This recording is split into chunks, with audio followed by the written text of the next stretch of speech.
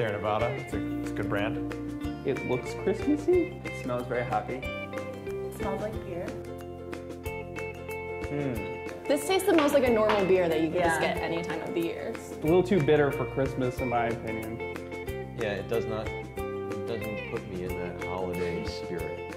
You're not singing Bing Crosby. No, I'm not, nor am I singing Dreidel.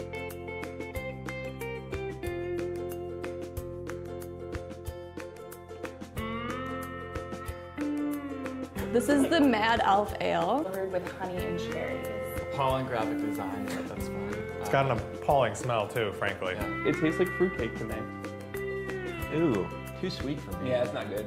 That really does taste like drinking liquor. I mean, yeah. Yeah, I would not pay twenty dollars for that. I have my standards. Yeah.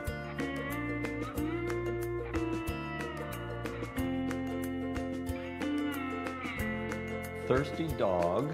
Mm. All, uh, ale brewed with honey and spices. Uh-oh. I know, honey's back. No dogs were harmed in the making of this beer. Smells a little bit like a Christmas candle. There's a lot of nutmeg in there. it kind of tastes like if you licked off the top layer of eggnog. It doesn't really remind me of Christmas. No, it's just like a lot of flavors that I still want in beer.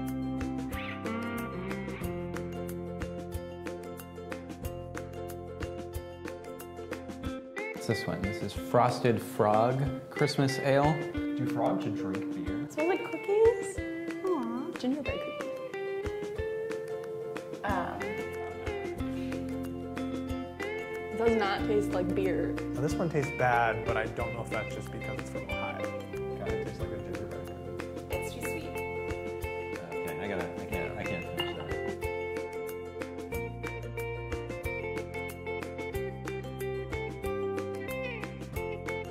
Delirium Noel from Belgium.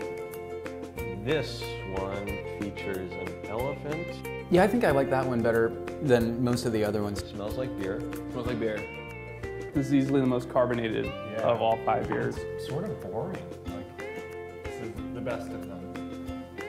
Good. It's good.